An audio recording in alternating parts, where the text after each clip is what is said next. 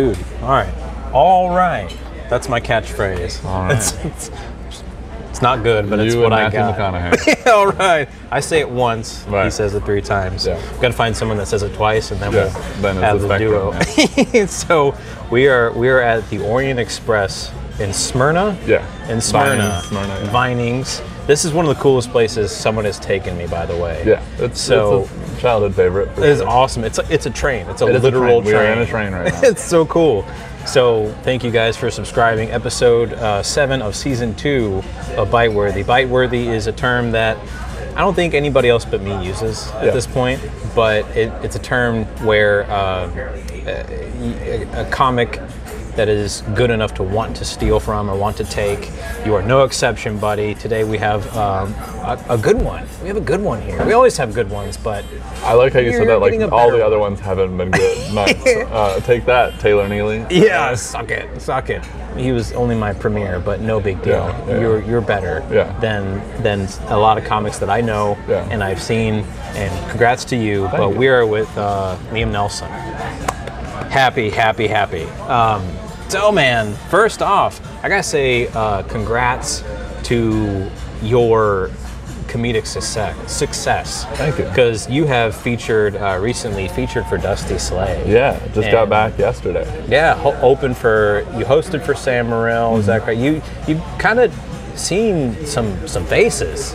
You got if you were to drop some names, like they, they hit the floor pretty hard. You're hitting some Yeah. some heavy so right now on my drops, list, uh, I feature for Kate Willett, Joe Zimmerman, uh, and Dusty, and then I open I, and I host for Sam uh, Killer. regularly on the road. My first question is actually Dusty Slay related. Oh. Uh, is there a time, like either at a show or during a drive or on your on your comedy venture, where you're where you're like, I'm not having fun, not having fun here? Because normally we're having fun here. I mean, I was know- telling you about earlier uh, the Sunday show of this run. Like, you know, we had great shows all weekend, and the Sunday show wasn't bad. No. It was just not nearly as good as the Saturday. Like the Saturday shows were the best of Yeah. all the weekend, and then uh, going into the Sunday show, it was just a the audience. Like Dusty has a very specific style, and a lot of times, like. I have some slightly darker stuff than what his audience is looking for sometimes, Right. and so they weren't really jiving with me as much as other audiences have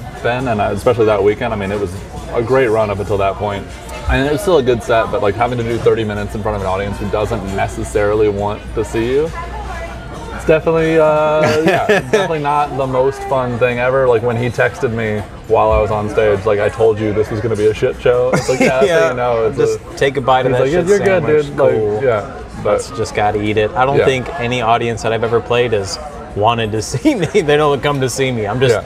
there. you just surprised them yeah. by being. it's like if you're at a if you're if you're like at a, a house party and someone's like, "Hey, someone brought a sub." I'm like, "Oh, okay, that's that's neat." Yeah. that's, that's how I am. Yeah. That's how I feel. A lot of the clubs they'll like call out like, "Oh, give it up for your headliner who's in back, Dusty Slay," and then they're like, "And keep that energy going for your opener." It's like, they're like, like, "Oh," they thought they were about to see Dusty, and then my goofy ass walks out of. I had a, I had a, I had a, that same feeling because um, it was Adam Ray, and I, I came up with a joke on the spot, landed flat, but I, I was like, hey, awesome. I, you know what's funny about, you know, performing right before you're gonna see Adam Ray is that like, it's like you're here to buy tickets to eat prime rib, and like they're like, here, have this uh, chop steak. Yeah, you know, that's an appetizer. Yeah, yeah, have this greasy little thing you got. Do you, do you, you don't have a catchphrase, do you?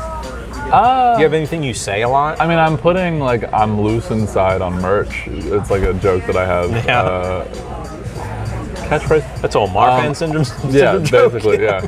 nice. Um, I you cornered the market there. we're having a good time does sneak into your vocabulary when you spend time around Dusty because Oh, he literally walks in. He's like, "All right, we're having a good time. We're having a good time. Yeah, yeah. So We're it's just like it fun. We're just it sticks. It kind of bleeds over into your vocabulary. I don't have I don't have a catchphrase though. no, not yet. Well, maybe, maybe you'll. Maybe You give me a we'll- yeah. I don't know. I don't know if I want to be a catchphrase guy. I mean, No. but maybe. Who, who knows? Something will, but something will be like. I do say that a lot. It was, uh, I think, you know. but- I say you, you know, know, at you the end of a lot of jokes. You know, you know, or not a great look. Uh, it's not a great look. it's, a solid. It, it originated from my like joke about not being able to shit on planes and having to do it with the door open. Like it's not a great look. It's not a me. great look. But there's a lot of a lot of my jokes are just me looking kind of silly. So I like it. I'm not a good look. I like that. So this is the only question I have about your height. All right. I know because you, when you're op- one of the best opening jokes I've ever heard. Yeah. You say, "Yep, seven feet tall." I just I just Pause. walk out. It's like the longer I can extend Shut it, the fuck about it. like I'll, I'll wait like three minutes sometimes if I have the like stage time for it. If it's like a loose show, I'll, I'll just like see how long I can go, and people will start clapping and stuff like before I say it. anything, and then I say seven feet, and it like I mean kicks it off every time. It's a great opener, man. Yeah. Killer. So I only have one question about it. It's not even a question. It's more of like a rapid fire test. So seven feet tall. Just some things that I came up with that might be over or under seven feet tall. right. All right.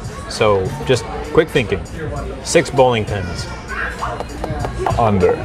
No, over. Over. Over. Correct. Uh, one and a half tubas. Under. Under. Yep.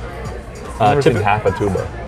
I haven't either, but it, it, it, there's a multiverse, and Sounds I like a horrible train accident with a tuba player. All right. a Yeah. shitty marching band. Uh, one, the average uh, length of a giraffe's neck. Longer. Under. Really? Yeah. I'm taller than a giraffe's neck. You are. Right, cool. Uh, two Peter Dinklages. Over. Over. Nice. Yep. He's got he's got a big heart.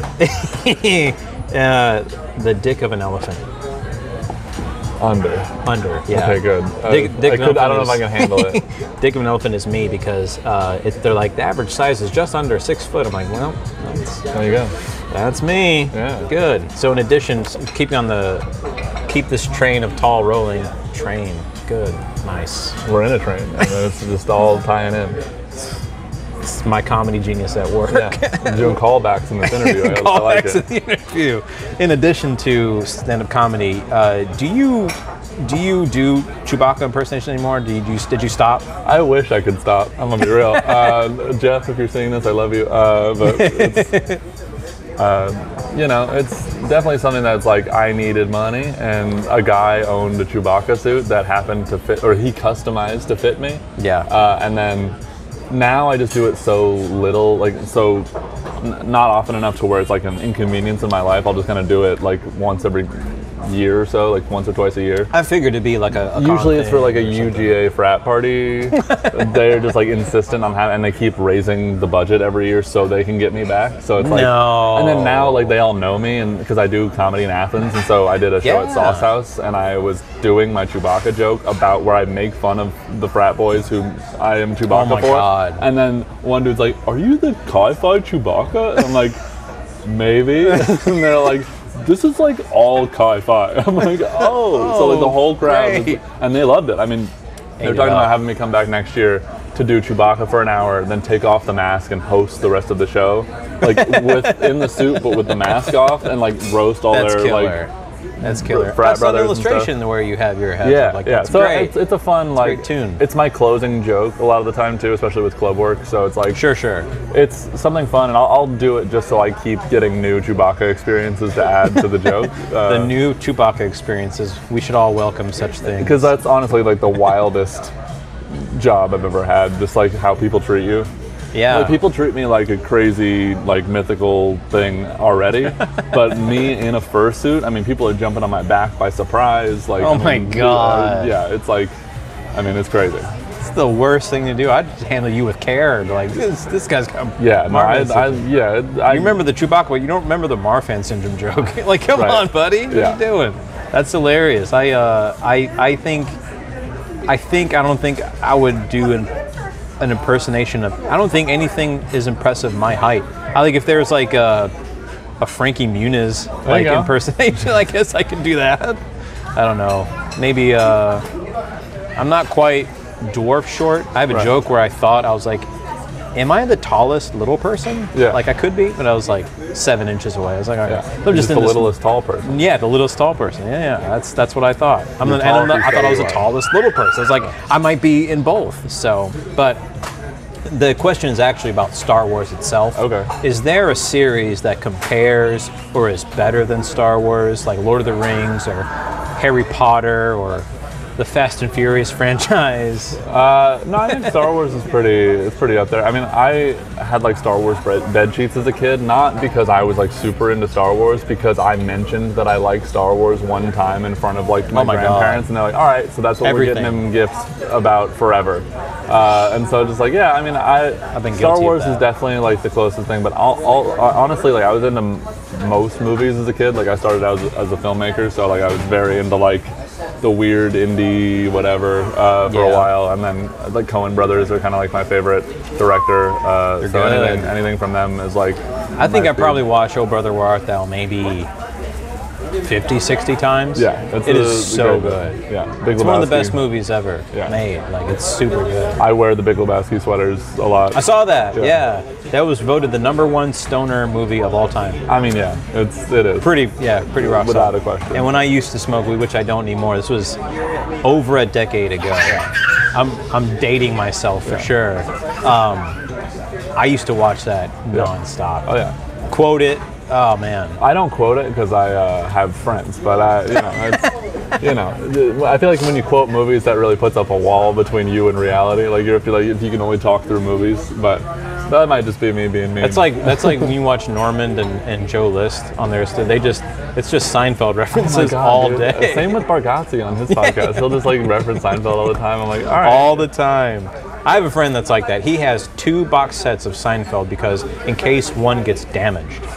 I know. Oh my God, like I know, man. Is this Fallout shelter just filled with extra copies of Seinfeld, like in case the world ends? Where's the food? I don't know, but we We do have Jerry. Jerry Yeah. is here to make us laugh for the next we watched episode until where he this gets the VHS spins out. yeah, Like, that's exactly right. That's exactly right. You, you want to hear something wild? I've seen Yeah, let's hear it. maybe three episodes of Seinfeld, and I was like, not really, not really for me. And then I just moved. on. I know, and the comics are gonna crucify me for this. Yeah, yeah. I don't know. I might try it again now that I am a comedian and like might get more out of it. But I don't know. Just like '90s sitcoms never hit for me. Like I was much more of like an Office, Parks and Rec, like that, like mockumentary style. Like what we do in the shadows right now is like one of my favorites. Uh, It's good. I heard it's really good. I haven't given that a watch. um, so like, I'm a big like mockumentary guy because I was into documentaries when I was younger too. But yeah, I don't know. I'll, I'll, I'll give Seinfeld another shot. I have a lot of time on the road now. You should. so. You'll you'll s- and, I have a feeling It's a someone will guilt me into watching a bunch of it at some About point in like a comedy condo because Yeah. you know how comedian they're like you haven't seen Seinfeld. Come on, bro, we're not leaving We're until not you exactly like the I'll get you a pizza and we'll watch Seinfeld. My treat. We're gonna watch it. You got to see this episode at least. Uh, the soup Nazi. You don't know the soup don't know- Nazi? Like I do know who that is. Oh, you but- don't know. You don't know Kenny Kenny Rick. you know all those all those ones, all the characters. Yeah, yeah. You're struggling to name another character. Are you also not? I a thought it was Kenny. Uh, I was thinking Kenny Garcia, but Yeah. that's because I'm doing uh, doing a show of his.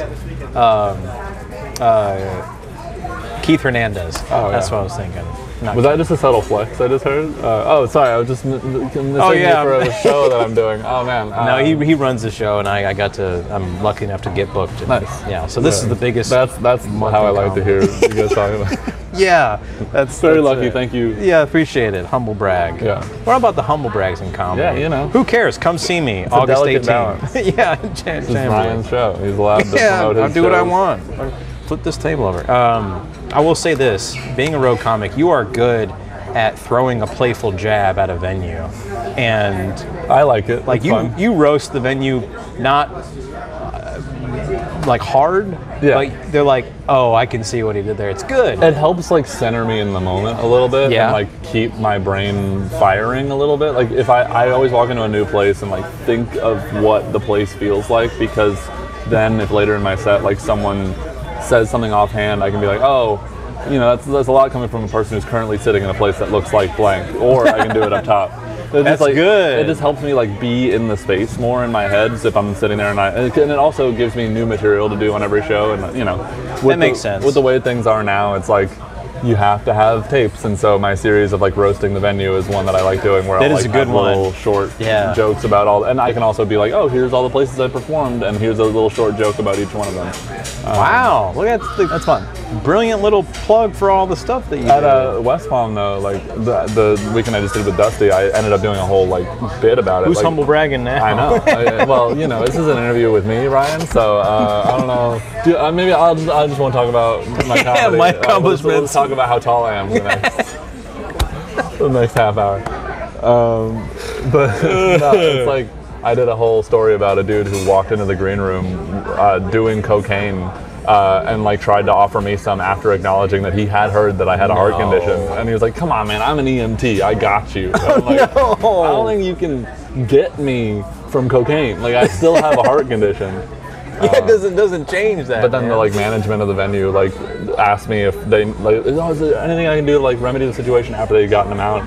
Like, do you want me to make him give you money? And they like go out, and the, the manager comes back with sixty bucks cash. cocaine reparations. He just gives me sixty bucks cash. Uh, apparently, they had told the dude like, "Oh, this comic's super upset, and like he, Oh my like, God, you're gonna that's ruin our relationship with the venue, like." Uh, with this comic, like y- you gotta pay him, you gotta pay him, and so like I had the venue shake this guy down essentially, um, and I just talked being about part it of the stage. mob, everybody. So that, that'll probably be something that goes up on my social. That's classic, Um, dude. yeah. that is so funny. I, I, cannot I enjoy it though. It, it helps like me feel like I'm doing something new all the time because you know you need that little bit of excitement, that little bit of like risk to take, and I always do it near the front of my set. It's like I'll be like seven feet and then Has do it ever that. backfired?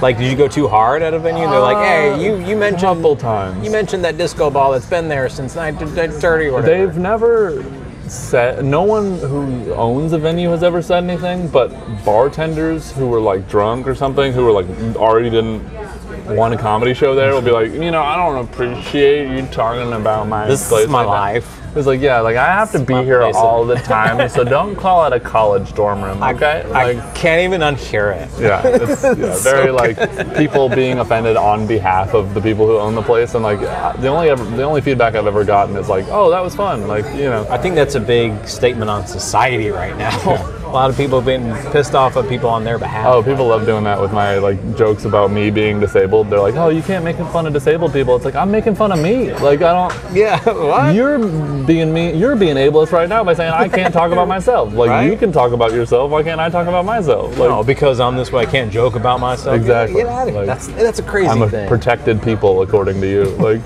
all right, protect me from myself then. Shit. Riddle me that, Ben. Then how do you? say- Yeah, right. So, uh, ha- has a venue ever like done the opposite, where you it, it's so cool or impressive that you're just like, I can't make fun of it. This place is awesome.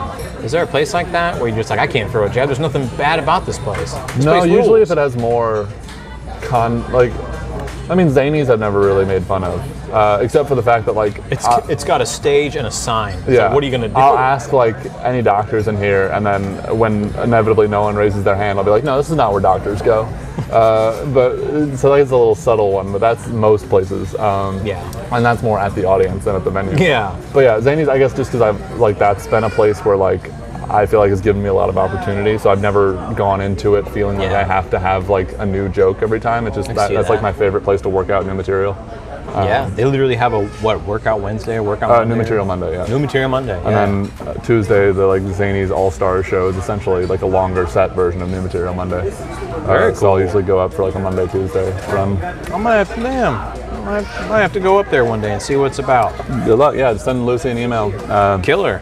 Yeah. Cool. Well, we're at the Orient Express. Yes. Which sounds like an old movie with a theme, you know? Yeah. I could. It is an old train. Yeah. Yeah, it's definitely an old train. I have some silly restaurant names Okay. that are based on movies that, like, would make. You see, you'll see when I'm. Like the Okay. Pelican Brief. You know that movie? Yeah. That'd be a seafood restaurant for businessmen. Okay. You know? Yeah. And then like Fast and Furious, be like a burger place that like yells at you. Right.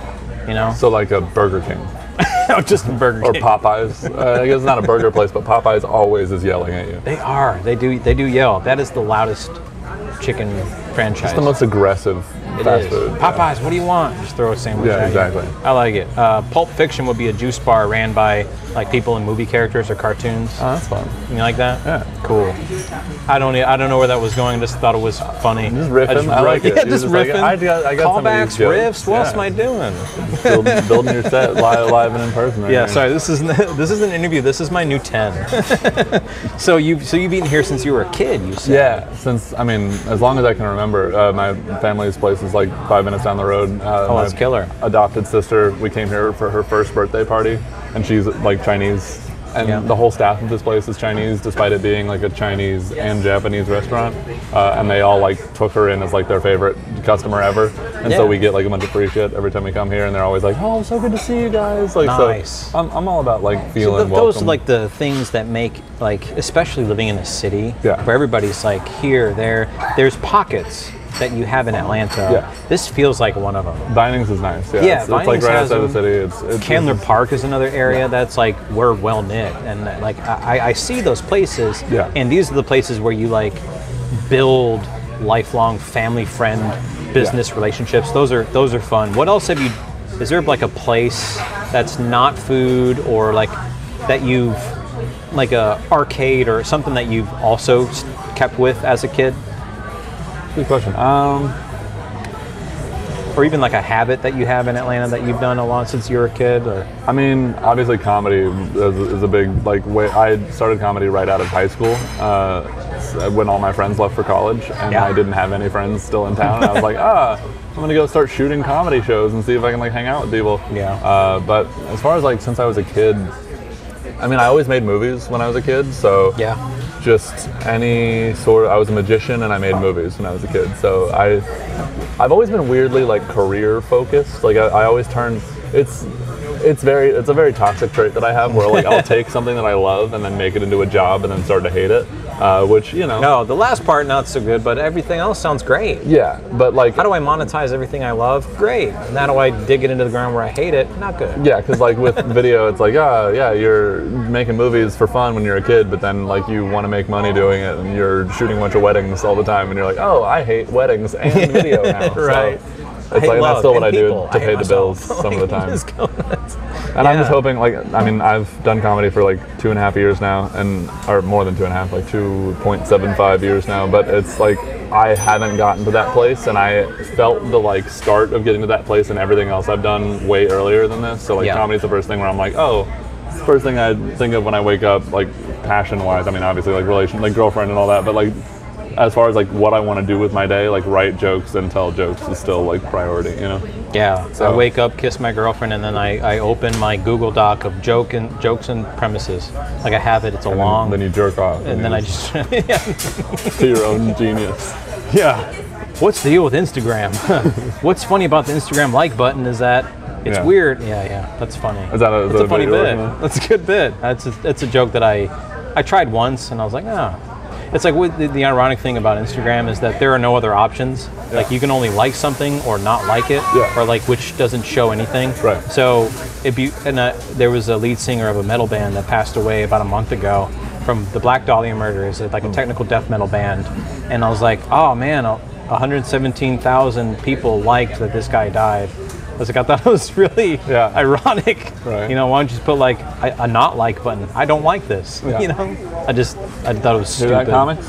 That, that, that one's free. Take Yeah, it before, it. before he does it on stage. I don't want. It I don't want it. I don't. I, don't, I, re- I retired it already. Oh, really? I told it once and I put it on the shelf. I did a lot, that, that's a lot of what I did early on. Like I used to like drink more than I should have before going up, just because I was nervous. Like Comedy, yeah. Yeah. Well, so like to give you an idea of like my trajectory. So I started out. I was like, I'm lonely, uh, and then I started. I started shooting for a magician friend of mine. Oh my uh, God. which is just what a what a like first door to open on the way to a career. Uh, and he was opening for a comedy show. Will Foskey was on that comedy show. Oh, I was like, this dude's super funny. Yeah. And then uh, I was like, oh, I, want, I don't. Let me find more of his stuff. Looked him up online. There was nothing. And so I was like, I just DM'd him, being like, hey, do you want me to come out and start filming your shows for you? So I went out to like 15 like, different yes, shows. do we met, kiss? What do we do? Yeah, right. met the whole scene, like doing it for free, basically. Yeah. He paid me like 20 bucks, you know. Sick. Uh, but uh, that's not what it was about. And then I got to meet the whole scene. And then one day he was like, yeah, I just would constantly talk about like, oh, I've always thought about doing comedy. And I have a clip from me when I was 17 He's just like, doing an interview do with Andy Erickson, who's a comedian with Marfan syndrome, who's on Last Comic Standing, who's a good friend of mine. And I was like, yeah, you know, I've always thought about doing comedy. And she's like, just try it. Uh, so like two years later, uh, Will's like, just there's a bucket, put your name in the bucket. Like if you want to do comedy, do it. Uh, and I was like, all right. And so I did it, and I got pulled, and then that was my first set. And it, honestly, I have a tape of it. And objectively, You like have a tape of your first set. I do. I have a tape of every set I've ever done, pretty much. Uh, Wow. Which is what a what a way to go down a rabbit hole of your own ego.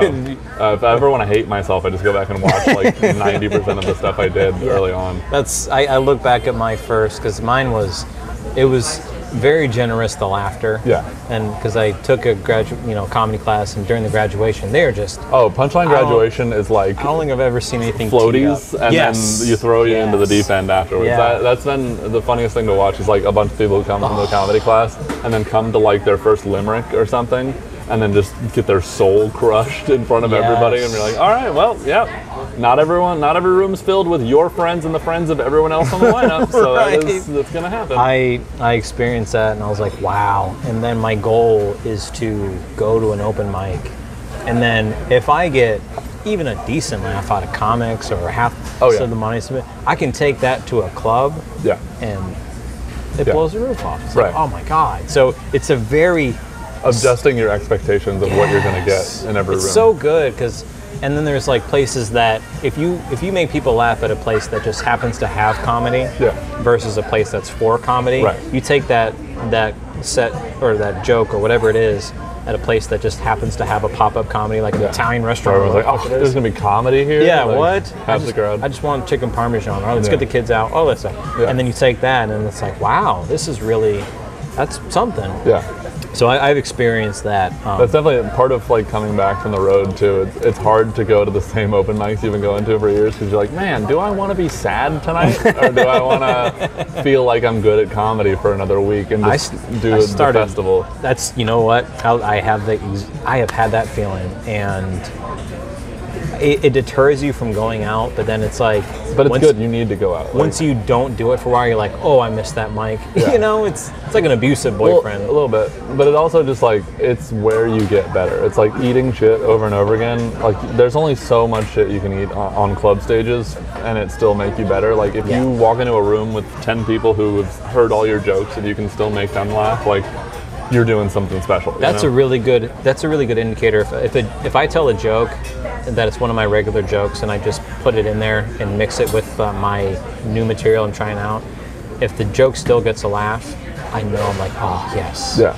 good, Right. That's good. That's a good joke. That's my keeper. Yeah. that's a great one. Um, I started making um, when I go to open mic. I just I'll just treat it like a like a pure workshop. Yeah. So I'll just tell the joke, and then I'll look at someone like, well, six, ten, what? Yeah. Is it a four? They're like "It's six. I was like, oh great, cool. Yeah. And then I'll just do that on stage during Yeah. my mic time because you can't get better than an actual comedian workshop. Yeah. Like when you write with people, that's some of the best things we do. Yeah. You know, it's just shooting the shit, having a, a good hang, and then coming up with a tag or you know just another comedian's perspective. I've I've written oh god five six tags out of like four jokes Yeah. that just came from talking Yeah. and just hanging. Yeah. And it's not even on the stage sometimes, it's in the green room or next Right. next to the stage or you know, we're making fun of our buddy who tried this joke or I'm Yeah. like you could have said this or some I won't heckle him at an open mic unless Yeah. unless it's like if I go to Dorado, El Dorado and there's four people, you're like, yeah, I'm "Ah, like, you ha, do whatever." lose it. You can do eh, what, what's what's the consequence? Yeah. Uh, you're gonna bash me for heckling you when there's three people and Like, Miguel. good, shut me down. Yeah, please show me, Sure. shut me down out there, all right? So yeah, I, I like that. It's a fun thing. Um, I'll ask you this last question here, uh, and then we'll plug dates and all that stuff. You and Katie are a super cute couple, man. Oh, thank you. Yeah. Um, you travel a fair amount. Yeah. Like not only just for comedy, but outside of comedy. yeah. And now it's pretty much all for comedy, but yeah. Yeah, that's okay. I mean, that's okay. That, and and is there like a destination that you guys are like we we're building towards this, and when we have time and or the money, we're going here. Is there a destination that you guys have in mind that you're like we're going? I mean, we went on a great trip with my family to Europe, which I feel like hit a lot of good like spots that I've been Where'd to you hit. go in Europe? Uh, Italy and London. Uh, You, like three- you I know. Where in Italy did you go? Uh, Positano on the Amalfi Coast. Uh, now I'm feeling I'm, I'm being Wow. a whole douchebag. Uh, my grandpa passed away and left my mom some money. my and condolences. so we got to do like the never got to go to Europe as a kid trip. Um, so it was like yeah, we went to Positano, Venice, and Rome, and then uh, London. And so I did a week of shows out in London. Which was crazy. How was comedy in London? Um, they hate the venue riffs. Uh, back to that question, uh, they don't like it. Uh, they. this pub has been here for since 17. I was in a weird little like beer garden club that was like you know 80 people, really fun room. Uh, Yeah. and they like I had a good time telling jokes there, but like I go up and I was like, oh, you know, it's crazy, like being in a place with so much history. Like this, you know, this place was actually the uh, sexiest air raid shelter from like it's like this big like black room with like pink accents, and it looks like a dominatrix den, but like. They did not laugh at all, and then I was like, "All right, so forget it has backfired. Yeah, just not it in has. America. I forgot about that. Yeah, I, blo- I blocked out London, but yeah, London was weird. Just Uh, not in America. like my first show that That's happened. hilarious. Second show was this like weird little upstairs show at the Camden Comedy Club, and the dude who was hosting it was like, "Hey, I don't want to do this. Do you want to host?" And I was like, I don't wanna do am this." From America, like I, we are don't in Camden anything. right now, uh, and he's like, "Yeah, but you'll be fine. You can do 30 minutes up top." I'm like, "Sure, all right." Just Okay, and then a I, casual I 30. 25 minutes to get like 20 people up there, and had a pretty fun show. Uh, I don't have a tape of it because my camera died, but yeah, it wow. was it was a weird a weird experience. But yeah, So you, you you did some barking over in. in I did. They are not as receptive to barking. They Wow. like looking at me like I was offering them like a timeshare. It was yes. because there was also a concert going on down the street, and I was like, but but I am look fun, right? Yeah. Like you want to come Screw upstairs music. to a Let me tell you about Like- my stories. Yeah, you want to come listen to a guy talk for 30 minutes uh, who So might much- be funny? I have followed music before, and it it is the hardest. Yeah. It's the worst. Oh yeah, I mean it's like the Shane Gillis joke where you can like he hears the music coming through the wall. He's like, oh, they have, right. they're like, a, I a way better from. time in there. Finger somebody, take ecstasy. That's what it Exactly. It's so so true. That's hilarious. Is there is, is there like um is there a place that you want to go? This is a food and comedy show. Is there a place that you want to go to for the food that you haven't gone? for food, Yeah. um, Like you want to go to like China or Mexico maybe. Mexico Yeah, for food. I, want to try. Mexico's like, got some really good Mexican food. Um, one of the best uh, trained chefs that I've ever got to like experience their food was trained in Mexico City. yeah, Japan also. I mean, Oh, dude. where we are right now, Japanese food. Big fan of that. Dude, if I, I would love, I would love to go like on a Japanese fishing boat and they just catch a tuna and they just slice into it Yeah. and just feed it to me. I don't need to watch it get murdered, but I, I will I will eat it after I- they I'm the opposite. they I take will the eyes murder out. it. Oh god, yeah. I will do it. see, I don't care. I was raised in a redneck family, but I was like the soft one, so they always used to just make fun of me, call me a pussy for putting Yeah. on sunscreen and stuff. You know, Yeah. it was, yeah. But you're like, ha, who doesn't have melanoma now? Well, my mom also showed me Bambi the night before I went hunting for the first time, uh, and My it was God. you know a That's little psychological traumatic. warfare. Yeah, That's terrible. she didn't want me to shoot the deer, and, I, and then I didn't want to shoot the deer after watching that movie. Aw. So Yeah, yeah, I get that. I understand that. I just watched. Uh, I just started watching. Funny you bring up Bambi. I just started watching this show with April called Once Upon a Time, and it's a show about. I used to watch that with characters. my mom when I was a I heard kid. it's really is is really good. Yeah. and it's the gayest thing I've ever had to admit, but it's, Right. it's an awesome show. I mean, yeah, Yeah, it's- and that just made me like. And the huntsman in there, he's like, he cries after he, when he kills something because he respects it, but he understands it. And I was like, oh, I get that. Oh, just Yeah. made me think of that. That's good. Yeah. I want to go to Italy so bad. Yeah. My family is from a place called Corleone, Sicily, and then Don't pretend like that is not the most well-known place in Italy. It's not. It's It is not. th- in The Godfather. Like, well, it's based on the yes. uh, It that's is the where la- they're from. Last name Corleone, Sicily. so you're a you're a Corleone. I will not confirm or deny. No, we're not. I'm. uh, Can you imagine meeting with Momster? Too short. It's, you can't. No one would take me serious. Um, Al Pacino's not very tall. Is he? I don't know. He just He's, feels he's like short five to me. seven, five eight. Yeah, he's so not, he's like okay. right? Yeah, I'm five five. Oh, okay. Yeah. Are you Yeah. five five? I have no reference below. a certain Yeah, you just point. everything is like small. yeah small. it's not me. So Yeah. yeah, I'm five foot five. I didn't realize how short I was. Yeah. But we're from we're a small family. The tallest person in my family was six one. Like going back three great.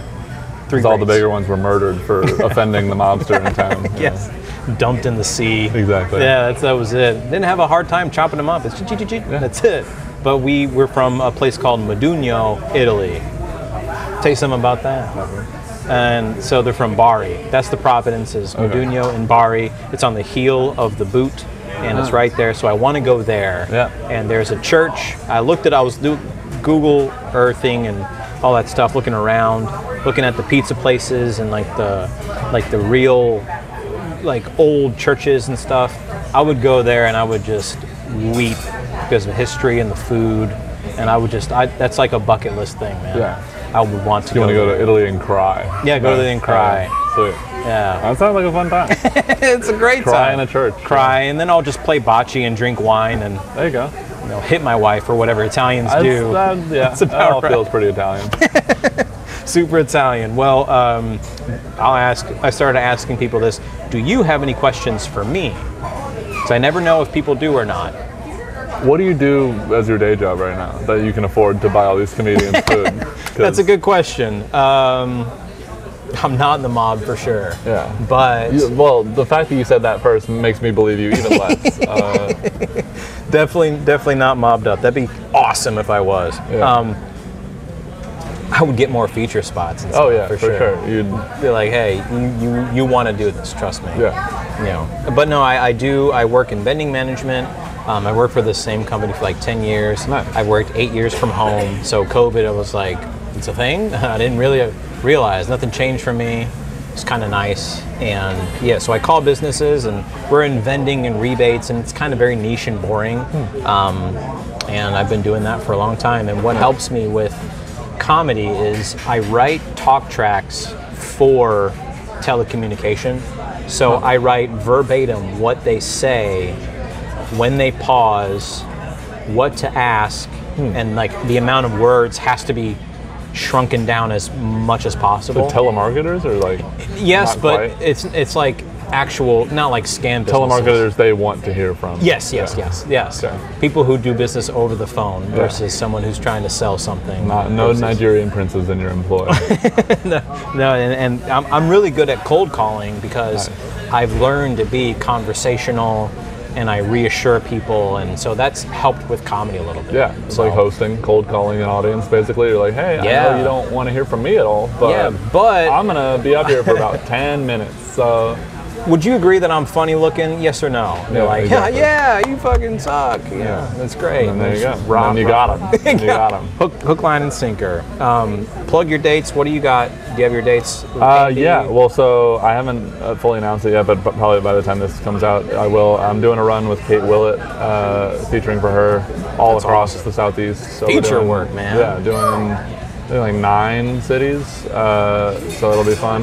Um, I'll have that on my Instagram, Liam J Nelson. Uh, Yeah. Going to be doing uh, Lexington, Kentucky with Sam, October 13th through 15th. I'm going to be doing uh, Kansas City with Sam in December. I'm going to be doing some uh, shows with Joe Zimmerman up near New York uh, in September. I'm going to be doing uh, Dusty's showcase in Nashville on August 24th. We're having Uh. We're having a good time. Having a very good time. um, doing a bunch of shows in Atlanta. Uh, if you wanna, if you're an Atlanta person and you want to come see me before I move, uh, Should I will definitely be see him do comedy. It's very doing funny.